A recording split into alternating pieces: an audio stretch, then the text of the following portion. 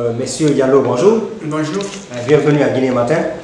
Voilà, je rappelle que vous êtes euh, Ibrahim Akanil Diallo, président du collectif des journalistes pour le soutien aux actions du président Alpha Condé. Aux actions présidentielles. Aux actions présidentielles. Merci pour la précision. Et donc, l'actualité aujourd'hui est dominée par la promotion d'une nouvelle constitution qui va permettre au président Condé de continuer à diriger la Guinée. Voilà, vous, quelle est votre position par rapport à, cet, état, de fait? Je crois que nous sommes opposés, disons, à 1000%, ça n'est même pas à 100%.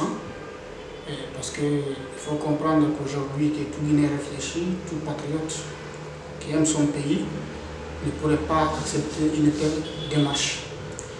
je crois qu'avant de continuer, il faut rappeler que le collectif des journalistes pour le soutien aux actions présidentielles a été créé le 3 septembre 2015 c'était justement pour soutenir les actions présidentielles. Et pourquoi on l'a fait? Parce que le président venait de faire 5 ans et on sait que pendant les 5 premières années, il y a eu pas mal de problèmes. Il y a eu Ebola, il y a eu les, manifestations politiques successives qui ont fait que sur le plan économique, ça a posé beaucoup de tort au pouvoir sur le plan économique. Donc on a considéré qu'avec le deuxième mandat, le président Alpha Condé, le pouvoir en place, allait faire tout son possible pour sortir la Guinée de la situation dans laquelle elle est. Mais fort malheureusement, après quatre ans de gestion pendant ce second mandat, on n'a pas vu des choses concrètes qui pourraient vraiment amorcer le développement économique de la Guinée.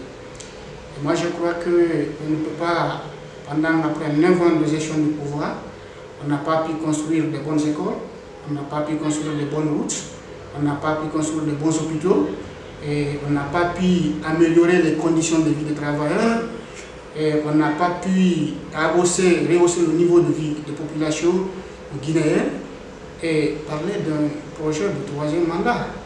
Donc moi j'estime que ce qu'on n'a pas pu faire en 9 ans, presque 10 ans, ce n'est pas en 5 ans qu'on va le faire. Et je crois que c'est une façon d'inciter le peuple de Guinée de parler d'un projet de troisième mandat.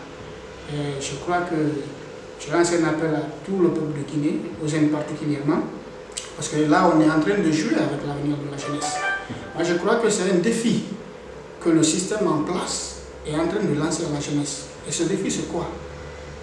Le pouvoir veut dire, vous, jeunes de Guinée, acceptez-vous Êtes-vous encore idiot Allez-vous accepter qu'on continue à piétiner votre avenir et peut-être éventuellement l'avenir de vos enfants?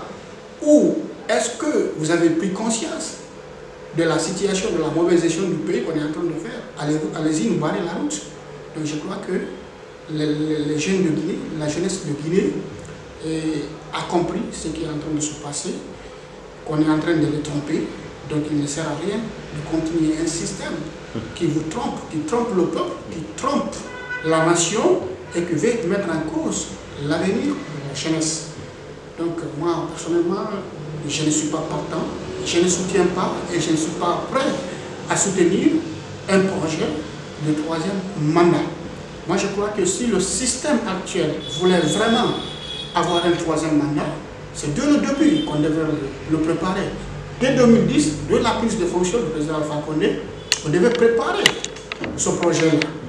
Même pas le projet en tant que tel, mais psychologiquement, on devrait préparer les gens.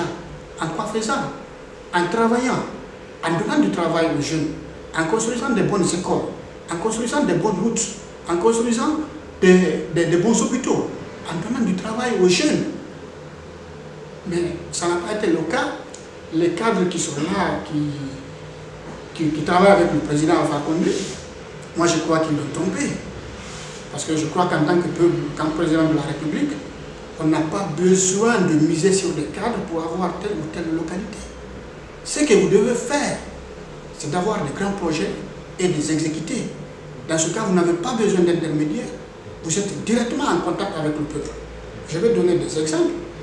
Le cas du président Tukiruga, c'est un monsieur qui travaille bien, qui fait du bien à son peuple. Mais quand il y a eu le putsch, le putsch était sur le point de réussir. Mais étant donné que c'est un homme c'est un homme du peuple, c'est un homme qui a travaillé pour le peuple, c'est le peuple qui s'est interposé entre lui et l'armée. Donc c'est ce qu'on devrait faire ici. Mais malheureusement, on est en train de se servir de cas des cadres qui ont servi sous Sekou, des cadres qui ont servi sous Côté, qui ont servi le président Dadis, qui ont servi sous la transition.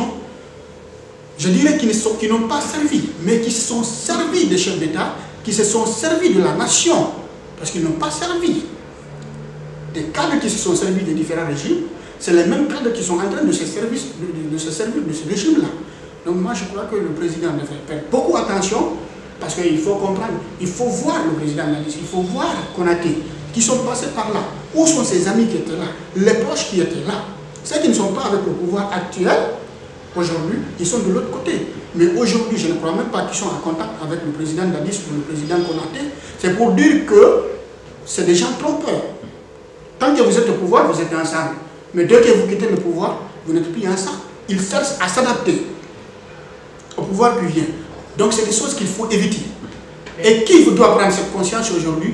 C'est la jeunesse de la Guinée. On a trop souffert, on a toutes les potentialités qu'il faut pour avoir un emploi à 100%. On a l'or, le diamant, la bauxite, on a les terres fertiles. Pour avoir le courant, aujourd'hui, regardez, on a dit qu'on a dépensé un milliard de dollars pour avoir le courant. Mais vous imaginez un milliard de dollars. Et jusqu'à présent, on n'est pas satisfait à 100%, 1 milliard de dollars. Imaginez, on a l'eau pour avoir le courant, on a le vent pour l'énergie éolienne, et on a les déchets, d'abord les déchets qui, qui, qui qui peuvent nous donner de, l'énergie. On a le soleil qui peut nous donner l'énergie solaire. On a toutes les potentialités qu'il faut aujourd'hui pour avoir le courant, sans parler de l'eau. Mais aujourd'hui, on n'a pas de courant, on n'a pas de l'eau. Peut-être c'est parce que c'est la saison pluvieuse, sinon vous n'avez qu'à vous promener dans les paliers de Conakry, allez-y voir les mères des familles, comment est-ce que les femmes souffrent. Il y en a même qui sont obligés de passer la nuit dehors pour attendre de l'eau jusqu'à 2h du matin. Il y en a pendant deux mois, ils ne reçoivent pas de l'eau. Ils sont obligés à aller de, des kilomètres pour avoir de l'eau. Ça, c'est une honte pour un pays qu'on appelle le château d'eau de l'Afrique occidentale, et scandale géologique de l'Afrique. Pour le négatif ne pèse pas en faveur du pouvoir en place. Mais votre démission, est-ce que c'est vous, vous parlez à votre titre personnel ou bien c'est tout le collectif qui avait été constitué pour soutenir les actions présidentielles? Depuis, comme je vous l'ai dit, c'est un collectif qui réunissait une vingtaine de membres. Vous savez, avec le temps, beaucoup en ont démissionné. Mais aujourd'hui, je ne peux pas dire, je parle en tant que président du collectif. J'en ai parlé avec certains amis qui désapprouvent complètement le projet, mais qui ne sont pas prêts à parler. Et moi, moi, patriote je je ne peux pas me taire face à une telle situation. Je ne veux pas que l'histoire me condamne un jour. Quand on a soutenu au début, les gens ont parlé de n'importe quoi, nous ont qualifiés de n'importe quoi. Mais nous, on estimait que c'était une façon d'aider le pays, c'était une façon de, le pouvoir à aider le peuple. Mais malheureusement, avec le temps, on a compris que les gens ne s'inscrivaient pas dans cette dynamique. Et je crois qu'on ne peut plus continuer à le faire. On ne peut pas continuer à tromper le peuple, à aider les gens à tromper le peuple.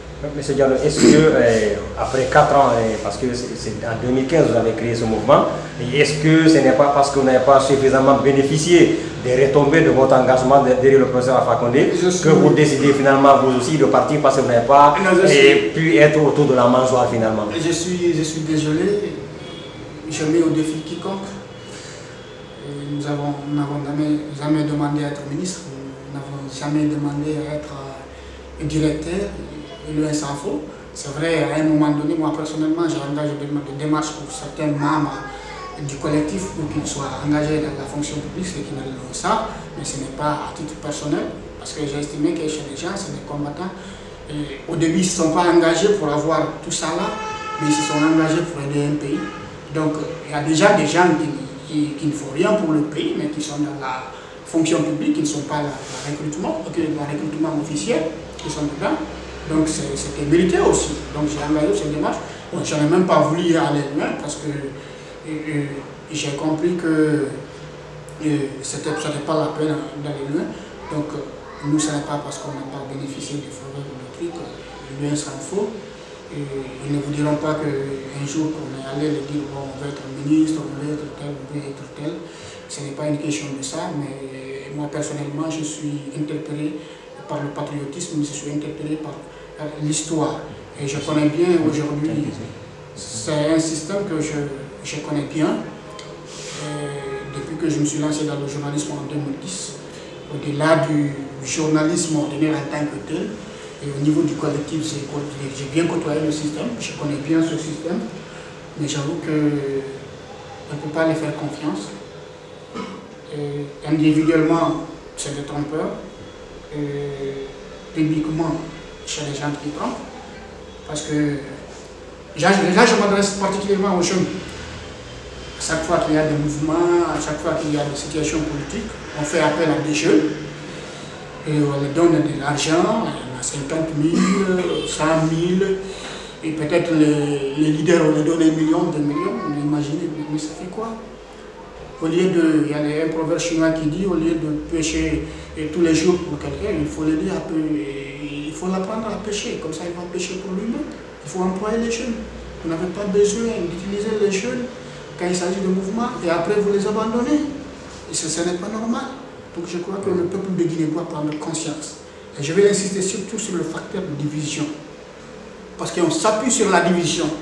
On dit, bon, attention, nous on est du pouvoir, c'est nous qui sommes là, il y a tel, tel groupe qui est en train de nous combattre, s'ils prennent le pouvoir et, on aura les conséquences. De l'autre côté, il y a un groupe qui dit, bon, attention, ces gens-là sont au pouvoir, ils sont contre nous, nous aussi, il faut qu'on se batte pour euh, être au pouvoir, et tout ça, facteur de division.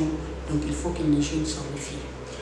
Il faut qu'on prenne conscience de cette situation. Ce projet de constitution, de nouvelle constitution ou d'amendement, je ne sais pas, ou de quoi, de la constitution, c'est un projet qui va contre, contre l'avenir de la Guinée, contre l'avenir de la jeunesse, contre l'avenir de la nation. Monsieur Barry, vous disiez à, Monsieur, Diallo. vous disiez à Off que dans la mise en place de ce projet, que vous aviez justement bénéficié de certains soutiens des proches du pouvoir.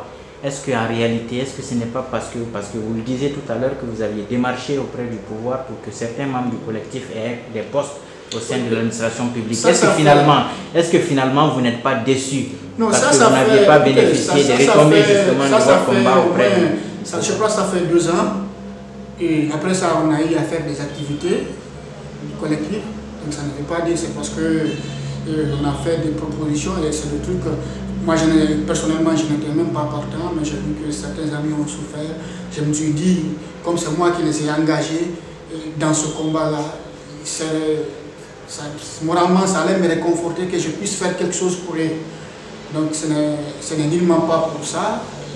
Ça n'a rien à voir dans ça si on voulait, mais les gens veulent qu'on communique pour la nouvelle constitution, on aurait pu s'engager et demander des moyens, mais même si on l'a fait, mais après même réflexion, on a compris que ce n'était pas une bonne idée. il faut plutôt penser au pays maintenant. Quel sera votre projet futur? Bon, je crois que moi, avec euh, certains jeunes patriotes, des jeunes ici de toutes les régions, de toutes les sensibilités sociales. il y en a des journalistes, il y en a des enseignants, il y en a des diplômés, il y en a même des étudiants. je crois que dans un avenir proche, si tout puissant Allah nous le permet, si Dieu nous le permet, nous avons d'autres projets. pour la Guinée, pour le moment, je préfère ne pas le dire. ce qui est clair, ce que nous voulons, nous voulons maintenant que la Guinée aille de l'avant, nous voulons qu'on se débarrasse de ces considérations mesquines. Il faut que les Guinéens sachent que nous avons les mêmes problèmes aujourd'hui. Il n'y a pas à dire que vous êtes de l'Ouest, vous êtes du Sud, vous êtes du Nord, du Centre. Et nous avons les mêmes problèmes. S'il n'y a pas de courant, quelle que soit votre origine ethnique ou régionale, quelle que soit votre euh, sensibilité sociale, c'est pour tout le monde. Le problème de l'eau, c'est pour tout le monde. Nous avons les mêmes problèmes. Donc je crois, j'en appelle à l'unité d'action de la jeunesse, j'en appelle à l'unité d'action de toute la nation, pour vraiment œuvrer pour une Guinée unie, une Guinée émergente, une Guinée sans division. Ok, merci beaucoup, M. Merci.